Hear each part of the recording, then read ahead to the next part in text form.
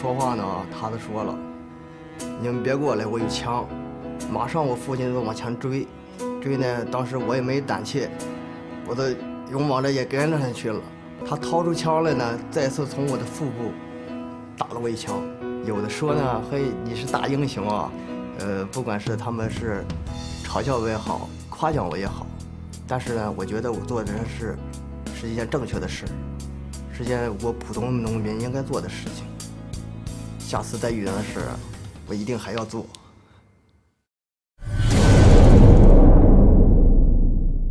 二位慢走，好，谢谢啊。哎，慢走慢走。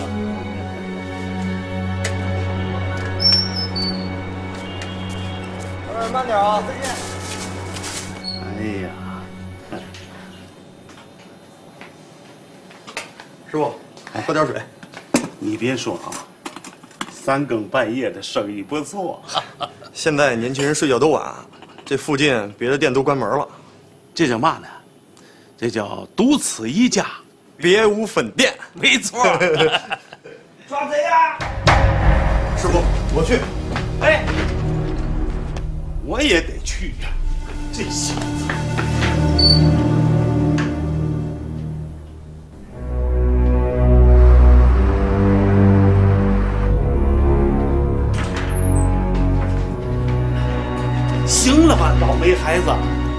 我一直在喊，别让我看见，别让我看见。这回可倒好，让我看见，让人跑了。你，你不抓劫匪，你反回头搀我干嘛？我看您都快倒不上气儿来了，就您这身子骨，万一要是有什么三长两短的，呸呸呸呸！那乌鸦嘴，念你师傅点好行吗？我身子骨怎么了？我身子骨怎么了？哎呀，行行行行了，师傅您就别嘴硬了，要不是您跟着掺和，我早抓着那小子了。哎，赖我是吧？别拉不出粑粑赖茅房了啊！倒霉孩子！哎，看清了吗？那那被被劫的那个是嘛人？好像是个学生，穿着校服呢。学生？我怎么没看见呢？我追的时候还在呢，就是看您那点功夫，他就跑没影了。你这，哎呀，哎呀，怎么了？怎么都是血呀？炸脚了是吧？啊！别动，别动，我给打点水去。没事，师傅，我自个儿来了。哎呀，行了，站这别动啊！抓贼的都是我爷爷啊！等着，等着。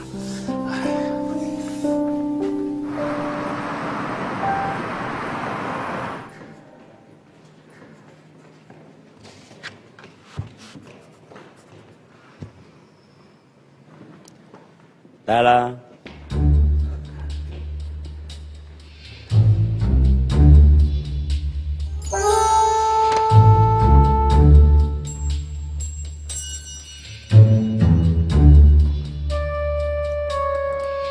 要不然我让你进去。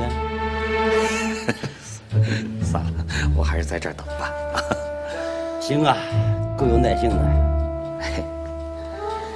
哎呀，不瞒你说呀，这屌丝想要逆袭，就得这样。你也算屌丝啊？那我没这样的算啥？哎，中国地方？嘿，那当然。有过那个连吃饭的钱都没有的时候，那倒没有。哦，这就比我强了。那睡过大街吗？没有，不过睡过候车室。又比我强。我呀，让房东赶出来过，在地下通道里睡了两个晚上，还是冬天。你在山？啊？那你混的不错啊。分怎么说了吧，三十大几的人了，连个女朋友都没混上，还不错呢。眼光太高。看这里面那女的了吧？啊，一个个都以为自己咋样了，其实啊，哼，中看不中用。下次再聊啊。哎，别走啊！聊得挺热乎呀，找着知音了。我我是等你等的无聊，跟他瞎白话。无聊还等？没正经事可干了。有有有正经事儿，等你就是我最正经的事儿。我知道你忙，你给我几分钟啊？没时间，我赶着去采访。采访正好正好，坐我车去，我送你去，省得你开自己车又费事又费油。我不怕费，是吧？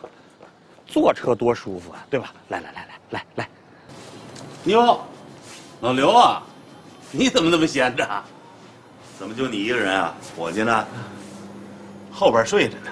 在你这打工好啊，白天还能休息。你不知道，我这儿啊改全天开板了。昨天忙活一夜没合眼。改全天了？对呀，挣钱不要命了？也不是，我就是，反正家回不去了嘛，我就闲着也是闲着，我寻开板吧。没想到半夜三更的吧，生意还不错。那天啊，我们俩还管了档子闲事儿。什么闲事？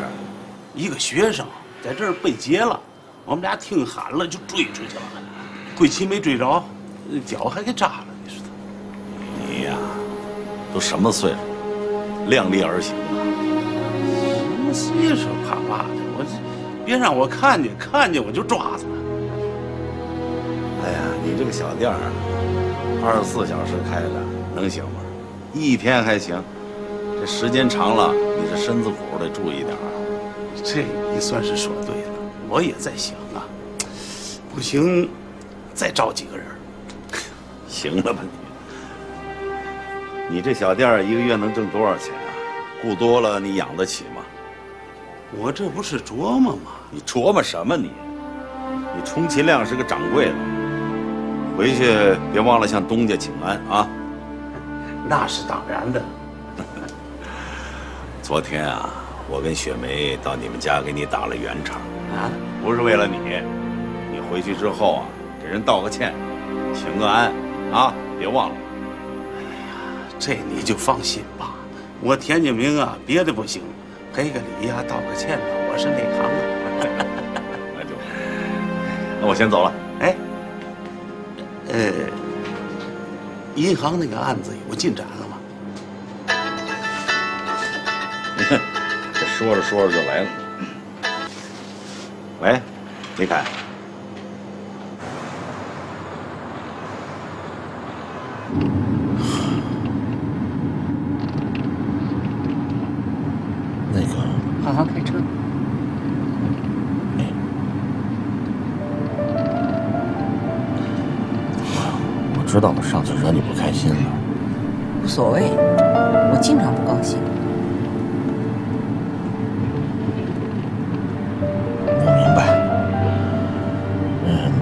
人心里头都有故事，有的故事愿意跟人说，有的故事不愿意跟人说。嗯，但是要碰上合适的机会和对的人，我不知道我是不是那个对的人啊。但是，但是我没有恶意，我我真的不想伤害你，所以我郑重的向你道歉。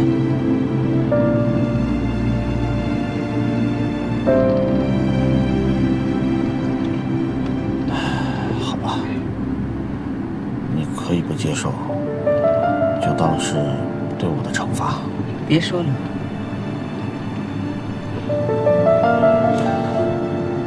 我打心眼里不想让你不开心，真的。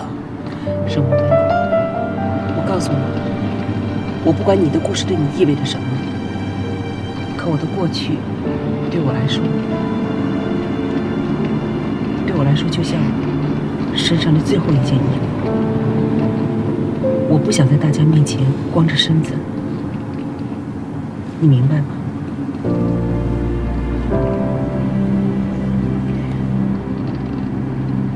我知道你不是有意的。可这恰恰是让我难过的原因。你让我更加不知道该如何去信任一个人。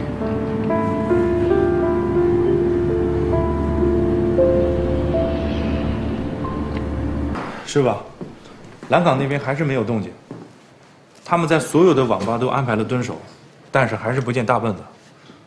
对，那个小孩一直试着联系他，到现在都没反应。嗯，是这样的，老沈和小孙他们想了一个比较特别的办法，想听听您的意见。对，行，那我一会儿去基金会，好，再见。哎，你要找的那人找到了，地址我发你手机里了。真的？真的？有电话吗？电话有是有一个，不过还是个六位数的呢，最起码七八年以前了。那算了，谢谢啊。客气。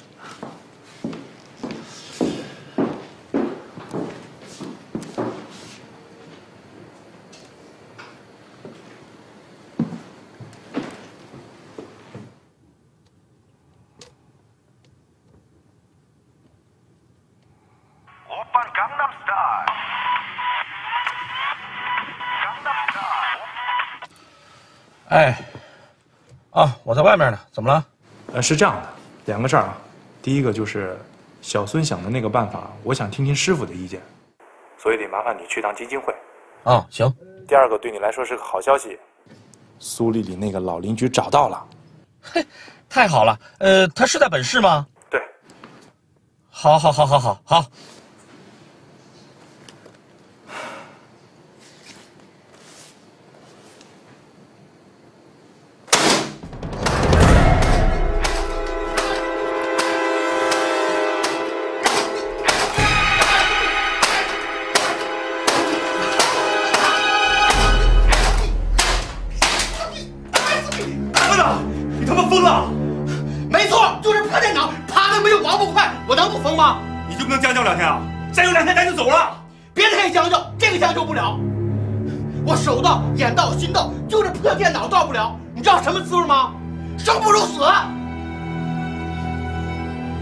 他妈别气出个好歹来！我想办法给你弄台好的。三哥，你不知道，我跟你说我这样人一隐身，我那帮小兄弟六神无主，天天都在网上找我。你说我这破机器，我也不敢应声啊，我丢不起那人。那个三哥，那个你一定帮我选一台配置高的啊！说真的啊，你让我三个月吃方便面没问题，你让我三天不玩游戏，不让我玩爽了，我得憋疯了啊！呃，那个买电脑那个钱从我那份里扣啊！老班长，说这话有意思吗？啊，行，我现在就给你弄去啊啊！老老实实的在家给我待着啊！那个记住了啊，一定给我弄台配置高的啊！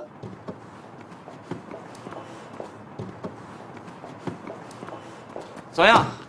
好素材。我我要告诉你一个好消息，嘿嘿，你那个老邻居啊，找着了。什么意思？哎，我跟李凯说完这事儿吧，李凯就到户籍中心去查了一下，郝亮啊就在本市，而且就住在老纺织厂的宿舍。当然，这个这这个事儿是我自自作主张了，我也没征求你的意见，不知道你是不是还想再见他。你要不高兴没关系，咱就当这事儿没有啊。谢谢。哦，我这手啊，既然伸出来了，我就没打算再缩回去。你看你，你什么时候不讨厌了？随时。这样，我先送你回报社。来，不用，我手上这份资料正好要报给秘书长。高中生见义勇为，难得。啊，正好我也要去基金会，来。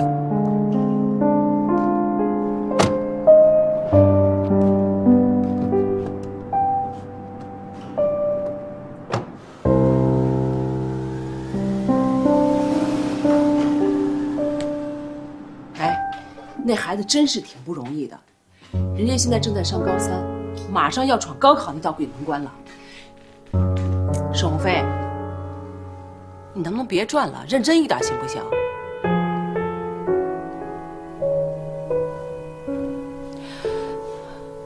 哦，对，那孩子现在正在上高三，马上要闯高考那道鬼门关。你说他要是因为这事儿受伤耽误了，那可是一辈子大事儿。可人家一点都没含糊，头上流着血还追呢。这孩子倒是够血性的。哎，那后来呢？后来那个抢劫的跑了，他追了一段没追上，等再回来的时候，那个受害人啊已经不见了。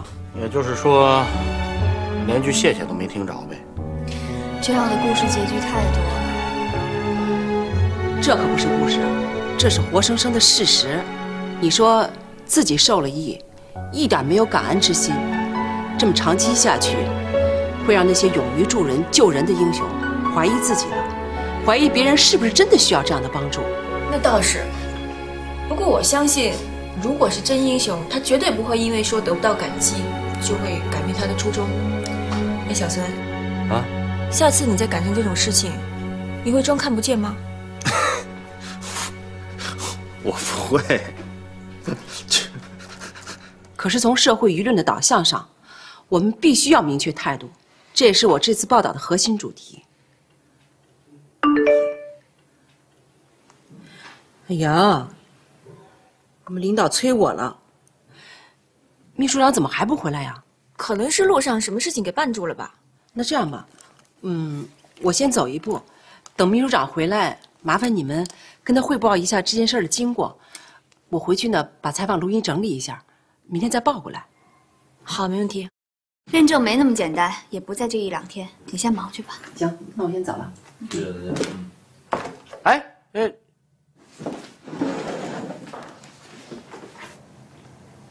啊，没事儿。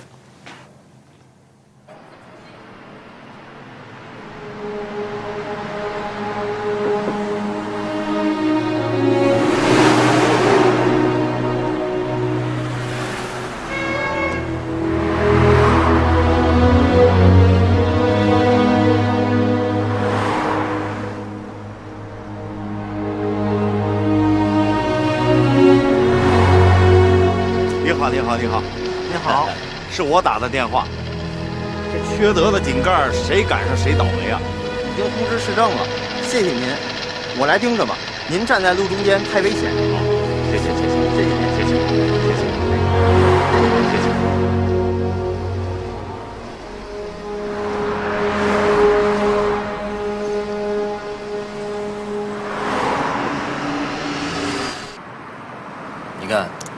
它这个游戏的设计规则啊，有点像逐级 PK 战，意思就是说呢，如果你要像金字塔站到顶端的话，你必须一层一层一层 PK 到底下所有的人才行。但是我觉得按照这样的规则，你想遇到大半子那个战队，基本上是不太可能。哎呀，对呀、要是不在一个半区的话，那只有一种可能，那就是双方都得打到最后一场。要是有一方提前输了，那都不行。不是，它是这样的，它有一个这么一个叫公平性设计，也就是说呢，你要是拿不到足够的积分，你永远不知道你下一支会碰见什么样的战队。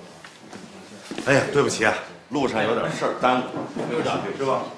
哎，来坐坐坐坐。我们刚才还在说呢啊，小孙，你把咱们的想法跟我师傅说说。好，呃，我们当时想法挺简单的，大笨子不是个网络游戏迷吗？所以我们想通过网络游戏的方式啊来找到他。现在其实我们已经掌握了一些情况。第一点，大笨子是个超级游戏迷，而且水平非常的高。第二点，他在网上最常用的网名叫做“爱谁谁”。第三点是蓝港市那个男孩是他们战队里面唯一一个和他现在见过面的，而且大笨子对这个人啊有最基本的信任。第四点，他最常玩的游戏是两个，一个是穿越火线，另外一个叫魔兽。我知道他刚刚在穿越火线的一个季度赛当中，他们整个战队拿了一个冠军，得了很多奖金，而且他们还通过第三方机构啊，把部分的虚拟财产变现了。只有大笨子一个人到现在还没有领奖。他可能是怕暴露自己的银行信息，也有可能。其实我们刚探讨过了，如果你现在要在网络游戏这个平台上锁定并找到大笨子，我觉得挺难的。但是我仔细看过他们网上所有的游戏规则，其中有一项也许对咱们是个机会。您看一下啊，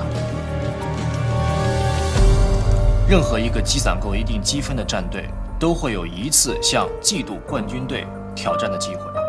冠军队不应战就会受罚。他的积分会自动损失，拨给一部分给挑战队。如果挑战队获胜的话，那么冠军队同样也会遭受损失。但是这不是最重要，最重要是这一条：如果冠军队三次累计不应战，他所在的战队将会永远被工会除名。这个是每一个玩游戏的人最不能接受的耻辱。什么是工会？嗯，一种叫法吧。当然了，也是一种荣誉。不同的工会代表着不同的水准。嗯，打个比方，就像咱们的足球联赛，中超、中甲、乙级联赛，也就这种区别。那你们的意思是要和大笨子挑战？对啊，这是现在逼他出来最好的机会了。不过呢，有两个前提：一呢是大笨子必须要继续的玩游戏；二呢就是我们必须要尽快的拿到足够的积分。我平常是玩游戏的，但是像你们这些平常根本不怎么玩游戏的人，你们根本就不了解这个东西啊！一旦陷进去了以后啊，那种荣誉感啊，尤其你达到一定级别，你不可能金盆洗手的。我保证大笨子一定会玩下去。对，其实这种联机游戏成员不必在一块儿，通过网络就可以组队，这样会降低大笨子的警惕性。那你们想怎么做呢？我们公司有几个高手。我来组个队，争取尽快拿到积分，向大笨子挑战。蓝岗市那边也会继续盯着那个小孩，让他从侧面影响大笨子。只要他出来应战，咱们就通过网络锁定他。看来贼也有荣誉感啊！不过，小沈，有一点我很担心啊，你这公司又不是公益机构，全都去打游戏去了，活谁干？没事儿。严斌带几个人就把这事干了，其他的员工还可以正常上班，是吧？严斌，这事什么都别说了，能破案就是帮我，我一定会全力以赴。师傅，那我们就这么干了。这话说的，案子在你手上，你想怎么干，你说了算。听见了吧？开工！嗯，开工。我们先走了啊！好，好嘞，你们辛苦啊！好嘞。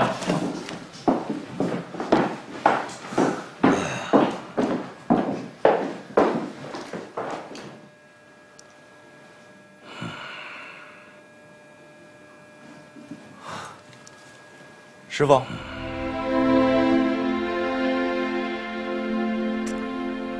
哎呀，我真是老了，这些手段在我这儿都是陌生的。哎，苏丽丽呢？她不说有一个材料吗？报社急等着要稿子，她先回去了，说详细材料明天再送过来。是什么案子？啊，是个高中生，昨天晚上为了抓一个拦路抢劫的受了伤，劫犯抓到了？没抓住。他是受害人，不是，他只是路过了。刚才我们还在聊这事儿呢，这受害人转眼就不见了，也没报案。又是这种事，事发地点在哪？建设路东段，那不是老田那儿吗？呃，对，离那儿应该不远。昨天夜里，一个学生拦路抢劫，没那么巧吧？师傅，怎么了？赶快给苏丽丽打个电话，那稿子让她先别发。啊？为什么呀？我今天去了老田那儿，老田跟我说，他们那儿昨天晚上也发生了一个抢劫案，他们师徒俩还去追，但是他们描述的情况和苏丽丽说的不太一样。我马上给丽丽打电话。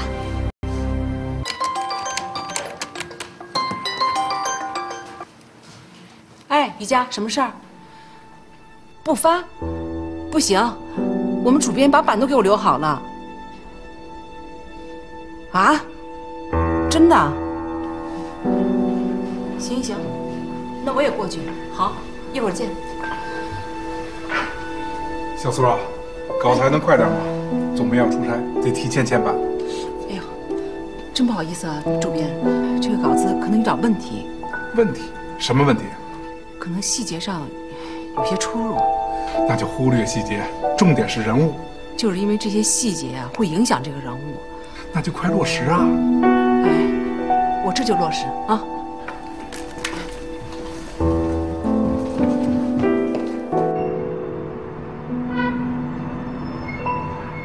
我就那么追出去了，眼看就追不上了，然后我就看见我师傅。你这孩子说话太啰嗦，知道吗？皮儿厚了，这段省略。哎，不能省略，这是描述案情。你接着说。就，我就看见我师傅跑得上气不接下气的，然后我怕他出事儿，就没追了。回来我就骂他，抓贼抓贼，你雇我干嘛？你确定当时除了那个学生，没有别的人吗？对，深更半夜的没有别人。你没看见有个女的被抢的那个？没有，我跑出去也就几秒钟，如果有人，我肯定看见了。你听见那个喊抓贼的声音是那个学生喊的吗？对，追贼的时候那个声音一直在那喊。你再见到那个学生，能认出来？够呛，因为我是从后边追的，没看清正脸儿。不过，他那衣服后边好像有个疤。第八中学？说不准，嗯，反正是校服。你这脚得注意点，别感染了啊！哎，我先出去一下。好。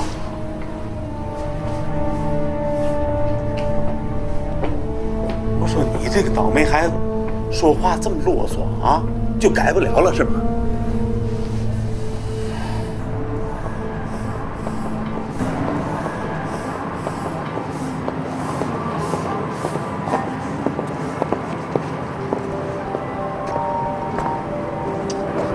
只有一种可能，那个学生他叫石磊。石磊发现有抢劫，喊了一声，劫犯就跑，石磊追了出来。而此时受害人迅速，我说的是迅速，迅速的离开了现场。这样，老田和郭铁追出来的时候，就只能发现石磊在追劫犯，而没有看到受害人。那受害人哪儿去？他只能钻进这小巷子。不合理，怎么不合理？受害人被抢劫之后，他一定受到了惊吓，怎么可能往那黑乎乎的箱子里钻呢？那受害人哪儿去了？人间蒸发了？或者说，这个人从来都没有出现过？从时间、地点和案情上看，石磊提供的情况和老田和郭铁说的是一样的。一回事儿，两种说法。那其中有一种说法必然出了问题。当然了，石磊面对的是苏丽丽。丽丽作为一个记者，有她习惯的提问方式。我不知道换一种环境，换一种提问方式，她的回答会不会还是这样？我明白了，一会儿我就去办。走，丽丽，我希望你也去听听，只是不要露面。我也去。走你当时是从东往西走，对。你当时看见那个劫犯在做什么动作，让你判断他是在抢劫？他在拽那个女的包，那女的一边挣扎一边还抢劫。包？什么包？就是那种挎包。单肩的还是双肩的？就一根单着。但是衣服，那女的好像是，好像别好像，说的准确点。是件运动衣。什么牌子的？安踏。你怎么知道是这个牌子？他衣服上有标。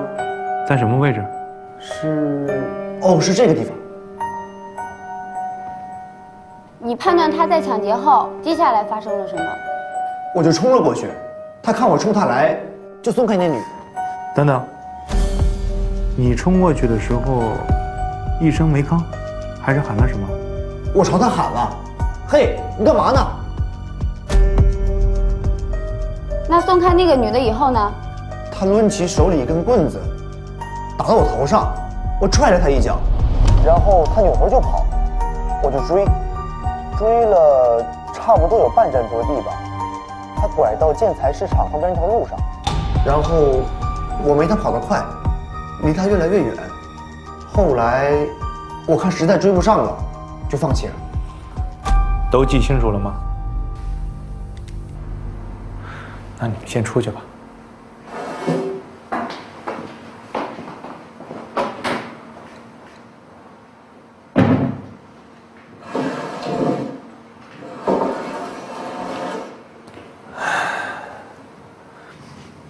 石磊，你是第一次到公安局来做这样的笔录吧？那有些事儿我要跟你说清楚。这个笔录呢，有两个作用。第一，就是作为本案的原始资料；第二，就是作为给你申报见义勇为的基本依据。公安局是执法机构，所做的笔录不可以有任何含糊，更不能有半点虚假，你明白吗？你现在也是成人了，我估计你也是第一次遇到那种突发状况吧。其实，人在那种特殊的情况下，你的感觉和记忆难免会出现一些差错的，这个都有可能。所以，我想请你想清楚，好好的回忆一下当时的经过。如果你在这个笔录上已经签了字，而笔录的内容与事实又有严重的不符，那这个事儿对你来说就麻烦了。我说的绝对都是事实。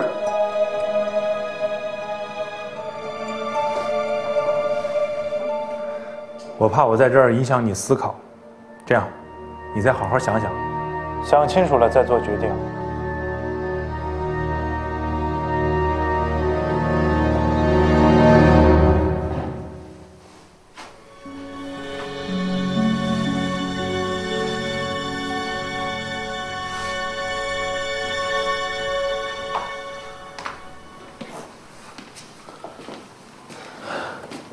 你们觉得怎么样？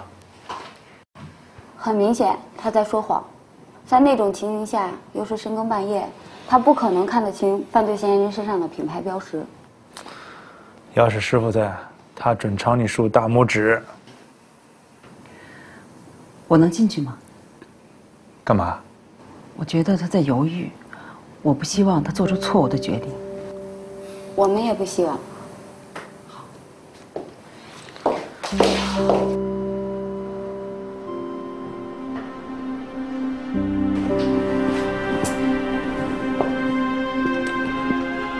石磊，是你。来，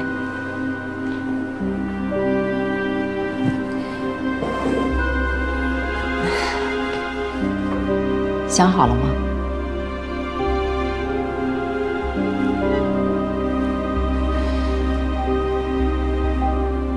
你当时是从东往西走，单肩还是双肩的？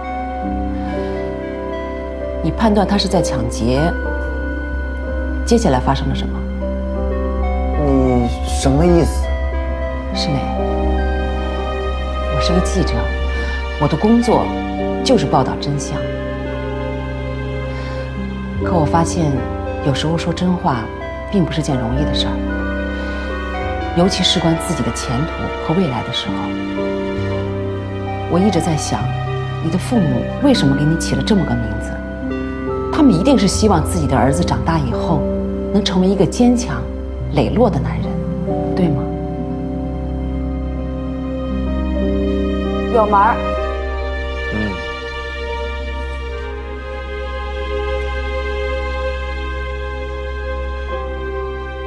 师傅，跟您想的基本上一样。现在苏丽丽还在做最后的努力，希望能让她自己转过这个弯来。嗯，明白了。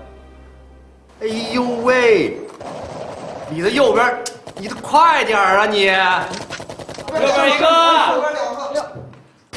哎，这不行吧？左边！哎呀，你怎么这么笨呢？这款游戏设计的太变态了，我这手都抽筋了。我要是个怪胎，有三只手就好了。你不干脆当一螃蟹得了？你咋不去当一蜈蚣呢？我这不正打着呢吗？你不是你死了吗？行了，行了，行了。哎，我提醒你们啊，你们现在玩的不是游戏，你们现在真的就是在打仗呢，知道吗？那游戏里的人死了还可以重来，战场上要死了人，咱们就没法重来了。你们都不希望小孙子门上再插把刀吧？把你们的潜能都逼出来，好吧？沈总，沈总，不好了，您赶紧去您的办公室看一下吧。怎么了？沈总，对方的措辞已经很不客气了。哎呀，我怎么把这事儿给忘了呀？对不起，沈总，都怪我，我今天应该再提醒您一次的。不怨你。哎，这是我的错，怨我，怨我。您再给他们打个电话，赔个不是，看看还有没有机会挽救。咱们是乙方，放了人家甲方的鸽子，你觉得打个电话能管用吗？你这样，你赶紧让小刘啊到海上皇宫订个好包，我呢亲自到人家公司请人家一趟。唉，如果他们肯来啊，就还有一线希望。好，我这就去办。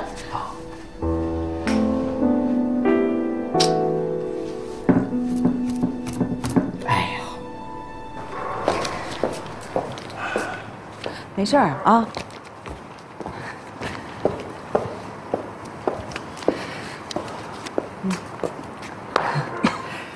石磊，我来介绍一下，这是我们市见义勇为基金会的刘秘书长。你好，小伙子。哎呀，你的故事我都听说了，虽然不能算是见义勇为，但是你想当英雄，不惧怕坏人，这说明你不是孬种，男子汉啊！无论遇到什么都不能趴下，对吧？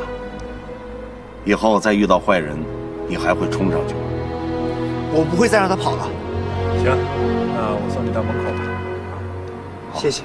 好，再见。好，再见，再见，走吧再见，再见。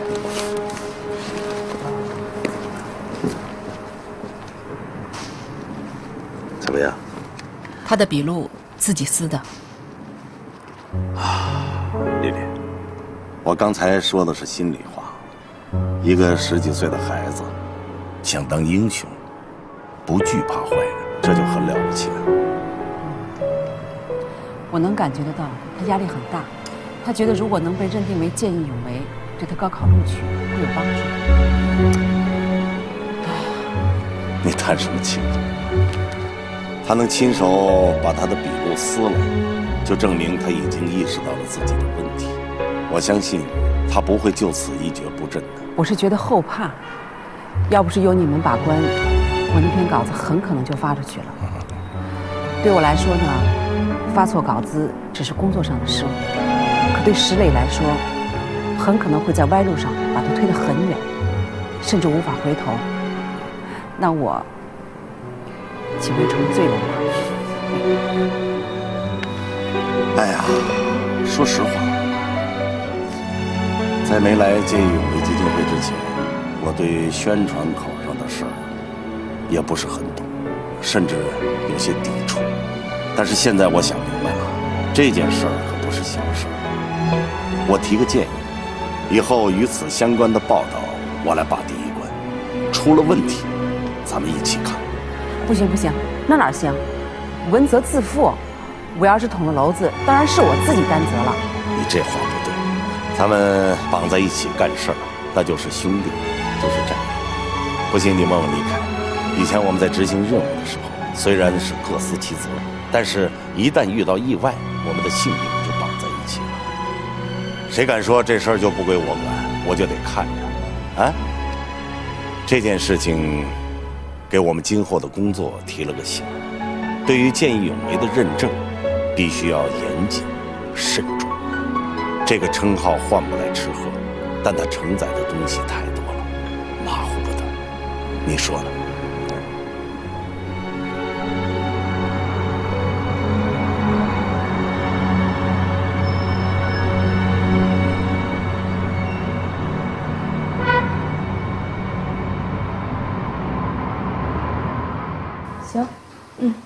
知道了。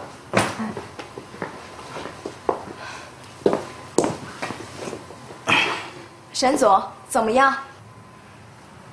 哎，汪总在开会，不见我。不过他们张主任倒见了我了，说是会转达。不知道，等吧，听天由命吧。哎，菜点了吗？啊，点了，按照你的指示，最高标准。啊，这回这代价有点大了。哼。但愿打游戏那帮小子别给咱搞砸喽！哎呦喂，你的右边，你的快点啊你！左边，左边，左边，左边！哎呦我这孙子，我哎呀！哎，各位大侠，晚上吃点什么？上上上边，上边上边上边上边！嘿，还真成大侠了，不吃不喝。我们这刚进入状元镇抢分呢，你别闹。别呀，沈总专门吩咐我一定要当好饲养员，你们有一个掉标的，都得扣我工钱。哎呦，求求你们了，给个面子。你别捣乱行不行啊？你去弄杯咖啡去，快点。咖啡。你在右边。嘿，哥几个，怎么不说话呀都？闭嘴，少子。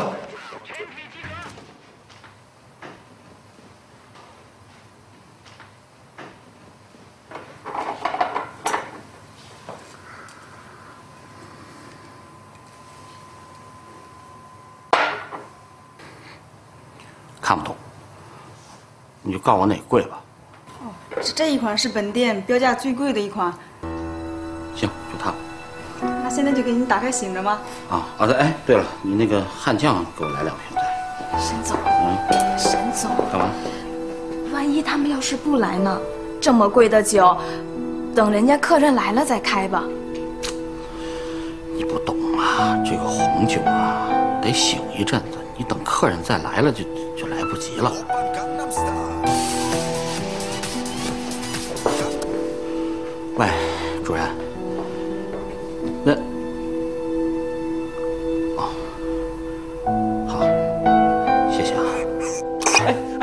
好，谢谢啊。哎哎，那酒先。